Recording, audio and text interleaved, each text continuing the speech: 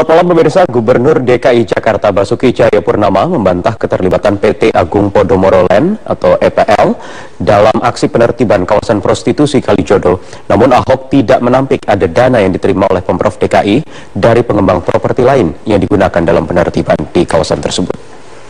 Saat ditemui dalam peresmian ruang publik terpadu ramah anak atau RPTRA Penggilingan Jakarta Timur Kamis siang tadi, Ahok menegaskan pemerintah provinsi tidak pernah meminta dana bantuan dari PT APL dalam penertiban kawasan prostitusi Kalijodo. Hal tersebut dikarenakan kawasan yang nantinya akan dijadikan ruang terbuka hijau ini telah menjadi proyek CSR milik PT Sinarmas. Ia membenarkan bantuan dana yang diberikan oleh PT Sinarmas dalam penertiban kawasan Kalijodo namun bukan dana dari PT APL. Dana yang diterima oleh Pemprov DKI Jakarta merupakan dana kewajiban pengembang yang telah disepakati dalam perjanjian kerjasama antara PT Sinarmas dengan Pemprov DKI. Ya, Sinarmas yang bantu. Saya nggak tahu, mungkin bisa 30 atau 50 miliar. Jadi dia pengen minta ada tulisan Sinarmas Land. Ada lampu, supaya waktu bandara orang masuk Jakarta, itu masuk sinar Land. Nah sama seperti ini, ini RP CSR. Perlu nggak CSR masuk dulu ke kas APBD? Nggak ada, dia suka-suka kok. Lalu kami mencatatnya bagaimana? Udah jadi pakai appraiser. Dia boleh ngaku habis satu miliar. Kalau appraiser mengatakan hanya 500 juta, ya pembukuan kami hanya 500. Ya. Secara tiba-tiba dan di luar agenda resminya, Presiden Joko Widodo belusukan ke Terminal 3 Ultimate Bandara Internasional Soekarno-Hatta, Banten pada Rabu sore. Presiden menekankan mengenai pentingnya proyek perluasan bandara untuk mengejar pemenuhan kebutuhan masyarakat atas jasa penerbangan. Perkembangan proyek Terminal 3 Ultimate Bandara Soekarno-Hatta mendadak menjadi perhatian Presiden Joko Widodo. Ditemani Menteri BUMN, Dirut Angkasa Pura II dan Dirut Garuda Indonesia, Presiden melihat langsung proyek tersebut. Presiden optimistis terminal baru Bandara Soekarno-Hatta itu bisa digunakan saat musim mudik lebaran mendatang. Presiden Jokowi menegaskan pembangunan fasilitas penerbangan tidak boleh kalah cepat dengan peningkatan pesat jumlah penumpang. Karena saat ini terjadi pertumbuhan cepat kebutuhan jasa penerbangan di tanah air, menyusul semakin tumbuhnya perekonomian Indonesia. Memang dari sisi kapasitas, memang Bandara Soekarno-Hatta ini kurang. Sangat kurang. Ini pun kalau sudah jadi, saya tadi sudah langsung perintah ke Bu Menteri. Harus sudah memikirkan lagi membangun selanjutnya.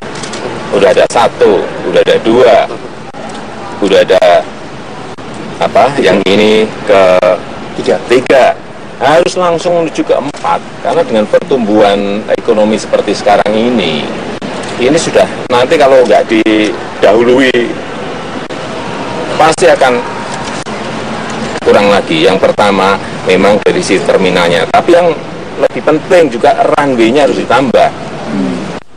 Terminal 3 Ultimate nantinya akan terkoneksi dengan terminal-terminal lain di Bandara Soekarno-Hatta melalui interkoneksi kereta bandara tanpa awak. Bandara Soekarno-Hatta juga nantinya akan terkoneksi langsung dengan kereta cepat Jakarta-Bandung. Selain proyek pembangunan Terminal 3 Ultimate ini, Presiden juga meminta agar dilakukan perluasan terminal di bandara-bandara lainnya di Indonesia, terutama bandara yang menjadi destinasi wisata. Dari Tangerang, Banten, Dade Salampesi, Agustian Loren, Metro TV. PD Perjuangan ternyata belum memutuskan untuk berkoalisi dengan partai politik lain untuk memperebutkan kursi DKI 1 dari tangan incumbent Basuki Cahayapurnama. Dan hingga saat ini PD Perjuangan masih fokus untuk menjaring calon kandidat penantang Basuki Cahayapurnama. Ketua DPP PDI Perjuangan Sukur Nababan mengatakan belum ber berkoordinasi dengan parpol lain, termasuk juga Gerindra yang sempat merebak isunya akan bergabung dengan PDI Perjuangan. Sebelumnya dalam Pilkada DKI 2012, PDI Perjuangan sempat berkoalisi dengan Gerindra dalam mengusung Joko Widodo dan juga Basuki Cahayapurnama untuk maju sebagai gubernur dan juga wakil gubernur DKI Jakarta.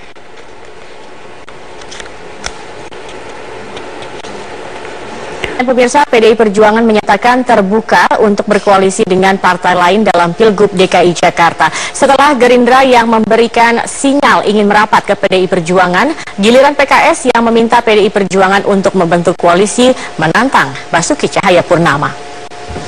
Sekjen PDI Perjuangan Hasto Kristianto menegaskan PDI Perjuangan tidak akan menutup diri pada Pilgub DKI kali ini. Partai mana saja sejauh memiliki kesamaan pandangan bisa bekerja sama dengan PDI Perjuangan. Hasto membenarkan ajakan kembali datang dari PKS. Namun sebagai satu-satunya parpol yang bisa mengusung calon sendiri dalam Pilgub, PDI Perjuangan belum gegabah menentukan sikap. Saat ini PDI Perjuangan juga masih melakukan penjaringan dan pemetaan politik. Menurut Hasto, dukungan partai politik sangat penting dalam menjalankan pemerintahan. Karena itu ia mempertanyakan adanya calon gubernur yang justru menolak dukungan dari partai politik.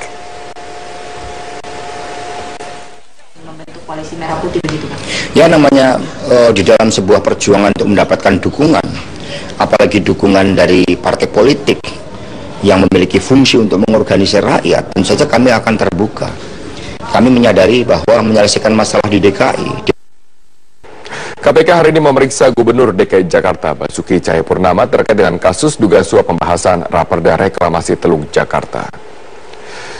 Hingga saat ini Ahok masih menjalani pemeriksaan sebagai saksi untuk Muhammad Sanusi dan Dirut PT APL Arisman Wijaya. Sehingga masih belum jelas apa saja pertanyaan yang diajukan tim penyidik kepada Ahok.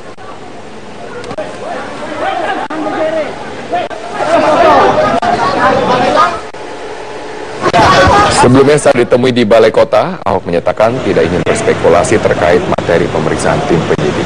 Yang meyakini pemeriksaan tidak akan terkait teknis dari penyusunan ataupun pembahasan raperda tentang reklamasi, namun lebih kepada peran Ahok sebagai Gubernur DKI Jakarta dalam penyusunan raperda tersebut. Menurut Ahok, pemeriksaan ini juga melengkapi berkas kedua tersangka dan segera melimpahkan kasus tersebut ke pengadilan.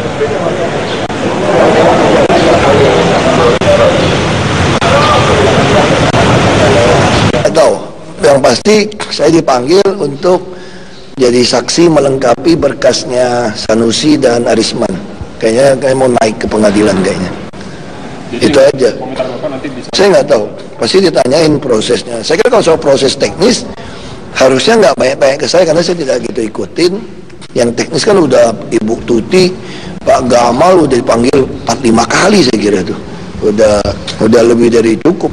Udah katam itu.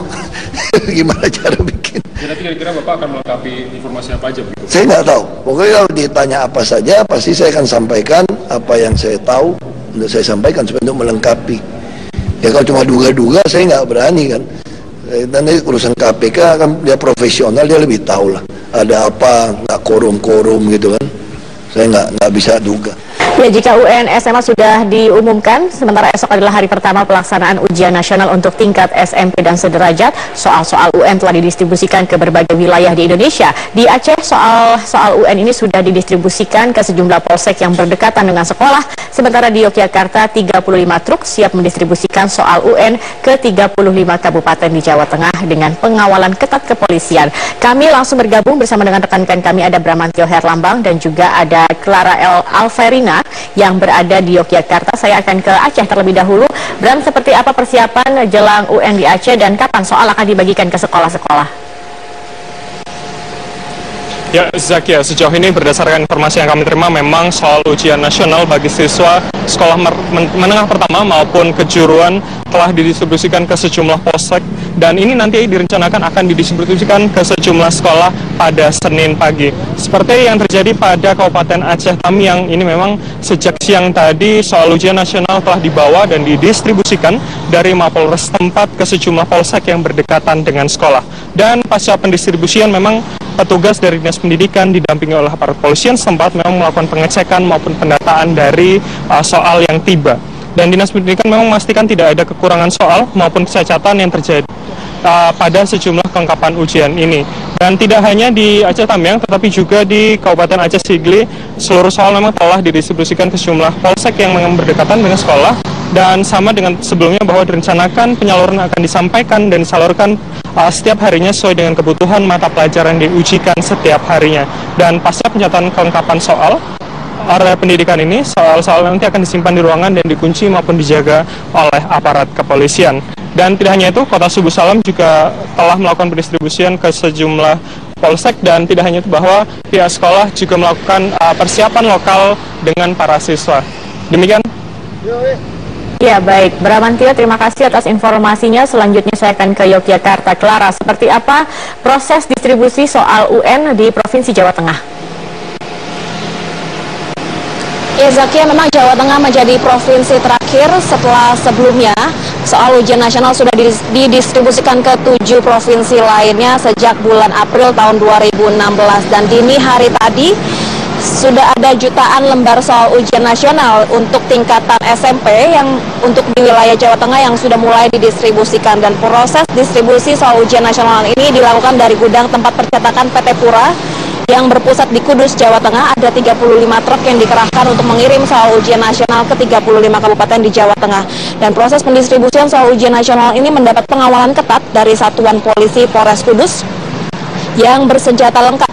Pengawalan ini dilakukan untuk menghindari kebocoran soal ujian nasional dan selain dijaga ketat aparat kepolisian, pendistribusian soal ujian nasional juga dikawal masing-masing dinas pendidikan kabupaten atau kota. Sebelum diberangkatkan ke 35 armada truk pembawa soal ini juga secara simbolis diberi segel sebagai tanda bahwa soal akan didistribusikan dengan aman. Jumlah so soal ujian nasional yang didistribusikan ke seluruh Jawa Tengah ini mencapai sekitar 2.300 set naskah termasuk sekitar 25.000 set naskah soal cadangan untuk ujian nasional susulan. Sementara itu Zakia di Temanggung, kami menemukan soal-soal ujian nasional yang sudah didistribusikan ini disimpan di lorong kantor Dinas Pendidikan setempat. Hal ini dikarenakan minimnya tempat penyimpanan sehingga naskah soal hanya diletakkan di lorong kantor yang telah dikelompokkan berdasarkan asal sekolah. Dan peletakan naskah di lorong tersebut memang lebih memudahkan petugas dalam mendistribusikan naskah soal kepada empat suprayon yang ada di Temanggung. Namun panitia pelaksanaan ujian nasional Kabupaten Temanggung tetap menjanjikan keamanan dan tidak ada kebocoran soal karena dijaga ketat oleh pihak aparat kepolisian. Zakia. Iya baik, terima kasih Clara Alverina dan juga sebelumnya ada Bramantio Herlambang. Terima kasih teman-teman atas informasinya dan pemirsa. Ya, lalu bagaimana kondisi arus balik melalui udara? Kami langsung menuju ke eh, dua rekan kami. Pertama di Bandara Soekarno-Hatta bersama Bremana Tayanaya dan kemudian di Bandara Juanda Sidoarjo ada rekan kami Christina Helen di sana. Saya akan menyapa ke Bremana terlebih dahulu. Bremana bagaimana uh, suasana arus balik di Bandara Soekarno-Hatta? Baik saja situasi terkini di Bandara Soekarno-Hatta saat ini cukup padat bisa terlihat di belakang saya ini ratusan penumpang baik yang baru saja datang maupun juga baru akan berangkat ke tujuan masing-masing ini terlihat memadati Terminal 1A Bandara Soekarno-Hatta dan memang Zakia Terminal 1A Bandara Soekarno-Hatta ini merupakan terminal yang dikhususkan untuk rute penerbangan domestik ini untuk tujuan Solo, Semarang, Surabaya, Balikpapan, Lombok hingga Makassar. Dan sebelumnya Zakia diprediksi bahwa hari ini memang merupakan puncak dari arus balik liburan panjang yaitu pada tanggal 8 Mei kali ini dan diperkirakan akan meningkat dari 149 ribu penumpang yang datang maupun berangkat dari Bandara Soekarno-Hatta ini di hari biasa menjadi 180 ribu penumpang di hari Minggu ini. Dan ini artinya meningkat sebanyak 100 13 persen Zakia. Dan sebelumnya juga sempat kami mendapatkan informasi dan juga data dan ini mengenai jumlah penumpang yang datang maupun berangkat melalui Bandara Soekarno-Hatta dan menurut data yang sementara kami dapatkan hingga pukul 15 waktu Indonesia Barat ini penumpang yang datang maupun berangkat dari Bandara Soekarno-Hatta mencapai 87.210 penumpang dengan rincian 17.400 penumpang untuk penerbangan internasional dan juga 69.810 penerbangan domestik. Dan dilihat dari data ini Zakia dapat dilihat bahwa penerbangan domestik mendominasi penerbangan di Soekarno-Hatta ini dan ini secara langsung menunjukkan bahwa warga Jakarta memilih untuk menghabiskan liburan panjangnya untuk mengunjungi kota-kota maupun destinasi yang ada di dalam negeri. Dan untuk mengantisipasi lonjakan penumpang di puncak liburan panjang kali ini Zakia, sebelumnya Kementerian Perhubungan melalui Dirjen Perhubungan Udara sempat berkoordinasi dengan seluruh bandara di Indonesia ini untuk menambah penerbangan atau extra flight. Dan kali ini menambah 17 penerbangan ekstra untuk Bandara Soekarno-Hatta dengan rincian 9 penerbangan untuk keberangkatan dan juga 8 penerbangan untuk kedatangan. Demikian Zakia. Baik, terima kasih bagaimana atas informasinya dan kemudian saya akan menuju ke Sidoarjo. Helen, berapa peningkatan penumpang di Bandara Sidoarjo? Zakia, memang benar hari Minggu ini diperkirakan sebagai puncak arus balik dari liburan long weekend yang terjadi akibat dua hari keagamaan yakni hari kenaikan Yesus Kristus dan juga hari raya Isra Mi'raj pada hari Kamis hingga berakhir pada minggu ini. Dan siang tadi hingga sore ini merupakan puncak arus mudik dengan jumlah penumpang di Bandara Juanda Sidoarjo diperkirakan mencapai 65 ribu orang. Jika dibandingkan dengan hari biasanya ini ada sekitar hanya 53 ribu orang saja yang ada di Bandara Juanda Sidoarjo. Ini berarti peningkatan jumlah penumpang di liburan long weekend kali ini sekitar 18 persen. Dan kenaikan jumlah penumpang ini didominasi oleh penerbangan domestik yang menuju ke Jakarta, kemudian juga menuju ke Makassar dan Pasar dan juga kota-kota lainnya seperti Bandung juga cukup mendominasi penerbangan uh, domestik di Bandara Juanda Sidoarjo ini. Selain dari peningkatan jumlah penumpang domestik, jumlah penumpang internasional di Bandara Juanda Sidoarjo ini juga mengalami peningkatan ini sebesar sekitar 12 persen. Dan dengan kota tujuan ini ada kota Hong Kong, kemudian Kuala Lumpur, dan juga Singapura. Dan hari ini jumlah penerbangan pada hari Minggu di Bandara Juanda Sidoarjo ini mencapai 400 penerbangan, masing-masing 200 penerbangan kedatangan dan juga 200 penerbangan uh, keberangkatan dari Bandara Juanda Sidoarjo. Dan Kemarin dari PT Angkasa Pura ini menambahkan satu maskapai penerbangan dalam rangka liburan long weekend ini yakni maskapai dari Nam Air yang melayani rute Denpasar, Surabaya dan Denpasar ini dijalankan pada tanggal 5, 7 dan 8 Mei ini dan diperkirakan arus balik ini memang uh, puncaknya paling banyak siang tadi sekitar 60, 65 ribu orang penumpang yang terus memadati Bandara Juanda Sidoarjo ini.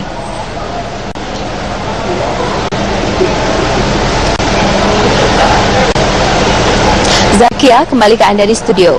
Iya baik, terima kasih Christina Helen dan juga Bremana Tenaya atas informasinya. Terima kasih teman-teman.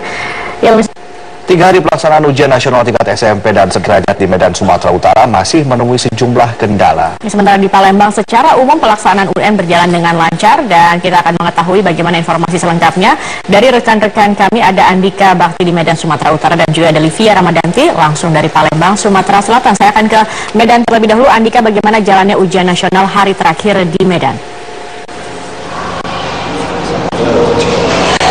Zakia, kebetulan sekali saat ini saya berada di Yayasan Cinta Budaya di Kabupaten Deli Serdang, Provinsi Sumatera Utara. Dan yayasan ini ataupun sekolah menengah pertama di yayasan ini merupakan satu dari empat sekolah di Kabupaten Deli Serdang, Sumatera Utara yang menggelar ujian nasional berbasis komputer, Zakia. Dan ada sebanyak 160 siswa di sini yang menggelar ujian nasional berbasis komputer dan 160 siswa ini dibagi dalam dua gelombang untuk pelaksanaan ujian nasionalnya. Dan secara teknis memang belum ada kendala apa pun yang dialami oleh pihak sekolah. Namun sebelumnya sempat terkendala masalah sengketa lahan di sekolah ini, uh, Zakia. Sebelumnya ada seorang warga uh, pada Maret lalu uh, mengklaim bahwa tanah di yayasan ini merupakan uh, tanah milik pribadinya, sementara pihak yayasan sudah membeli tanah ini pada sebuah uh, perusahaan swasta pada, sejak tahun 2010 silam. Namun dengan adanya jaminan yang diberikan oleh Polda, kemudian Kodam, bahkan DPR RI, DPRD dan juga Komnas Perlindungan Anak, ini mereka menjamin bahwa meski terjadi sengketa lahan hingga saat ini, tapi seluruh siswa yang ada di sini dijamin untuk dapat melaksanakan aktivitas belajarnya dengan normal, termasuk ujian nasional yang sudah digelar sejak hari Senin lalu. Zakia. Iya, Andika, lalu adakah temuan berupa bocoran kunci jawaban selama ujian berlangsung? Nah, untuk di Kabupaten Deli Serdang, Sumatera Utara ini, hingga saat ini kami belum ada menerima laporan terkait dengan adanya bocoran jawaban ujian nasional. Tapi justru temuan uh, bocoran kunci jawaban ini kami temukan di Kota Medan. Ada beberapa sekolah SMP di Kota Medan yang diketahui uh, beredar kunci jawaban. Dan temuan ini langsung ditemukan oleh anggota Komisi B DPRD Kota Medan. Dan melihat temuan ini ini Komisi B uh, DPRD Kota Medan langsung mendatangi salah satu SMP untuk mencocokkan dugaan kunci jawaban dengan soal yang sebenarnya. Dan hasilnya Zakia terdapat kesamaan antara soal dengan kunci jawaban yang beredar di beberapa sekolah SMP yang ada di Kota Medan. Dan menurut Komisi B DPRD Kota Medan, para siswa mendapatkan kunci jawaban ini dari oknum warga dengan cara dibeli seharga Rp20.000 sampai Rp200.000 per mata pelajarannya. Dan menanggapi hal ini, Komisi B DPRD Medan meminta agar temuan ini dapat menjadi bahan evaluasi tentang pelaksanaan ujian nasional. Dan berikut adalah pernyataan dari Wong Chusen yang merupakan anggota Komisi B DPRD Kota Medan. Ya, sebenarnya kunci soal ini sudah beredar banyak di siswa-siswa. Kita lihat di pagi-pagi dari hari pertama, kita lihat banyak siswa-siswa yang sibuk, ya, uh, mau berkumpul-kumpul, kemudian membagi-bagikan ini. Jadi kemudian mereka juga mengatakan bahwa ini didapat dari mana, jadi mereka itu beli dengan harga yang bervariasi.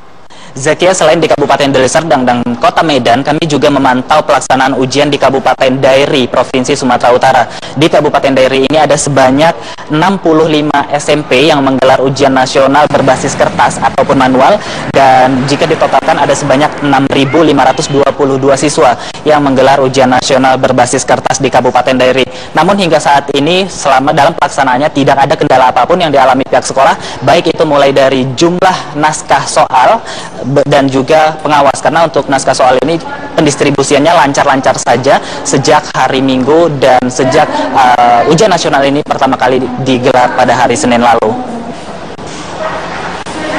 Zakia. Ya baik, terima kasih Andika dan kita akan melihat bagaimana jalannya ujian nasional di Sumatera Selatan. Livia, seperti apa jalannya UN hari terakhir di sejumlah wilayah di Sumatera Selatan? Zakia, jalannya UN atau ujian nasional yang berada di Sumatera Selatan ini berjalan cukup lancar seperti di tempat saya berada saat ini di SMP Negeri 1 Palembang yang menjalankan ujian nasional berbasis komputer ini berjalan cukup lancar dan tidak mengalami kendala yang cukup berarti. Pihak sekolah ini telah melakukan sejumlah atau berbagai persiapan untuk memperlancar jalannya ujian nasional pada tahun 2016 ini. Ini merupakan tahun kedua SMP Negeri 1 Palembang menjalankan ujian nasional berbasis komputer. Bila pada tahun sebelumnya eh, SMP Negeri 1 Palembang ini sempat meminjam beberapa unit komputer dalam pelaksanaannya, namun pada tahun ini tidak ada peminjaman lagi komputer dari pihak sekolah. Sementara saat ini telah dipersiapkan 69 unit komputer untuk memperlancar jalannya UNBK. Dan dari jumlah murid yang berjumlah 207 siswa ini maka UNBK harus dibagi menjadi atau ke dalam tiga sesi yang berjalan pada pagi, siang, dan sore hari. Sementara untuk langkah persiapan kemungkinan terjadinya pemadaman listrik, ini pihak dari sekolah juga telah menyiagakan atau mempersiapkan genset yang dipinjam langsung dari PLN setempat. Sedangkan di kota Pangkal Pinang, Provinsi Bangka Belitung, siswa sekolah luar biasa penyandang tunagrahita ini tidak menjalani ujian nasional seperti yang dilakukan di SLB lainnya. Ini dikarenakan ujian nasional ini dianggap kurang tepat untuk mereka sehingga mereka menjalankan ujian sekolah sebagai penentu kelulusannya. Sedikitnya ada 15 anak tunagrahita yang menjalani ujian dari SLB Yayasan Pembinaan Anak Cacat atau YPAC.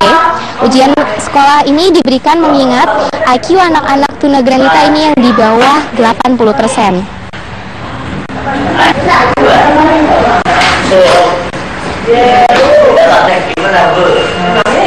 Demikian Zakia. Baik, terima kasih Livia Ramadanti atas informasinya dan sebelumnya ada Andika Bakti. Terima kasih teman-teman.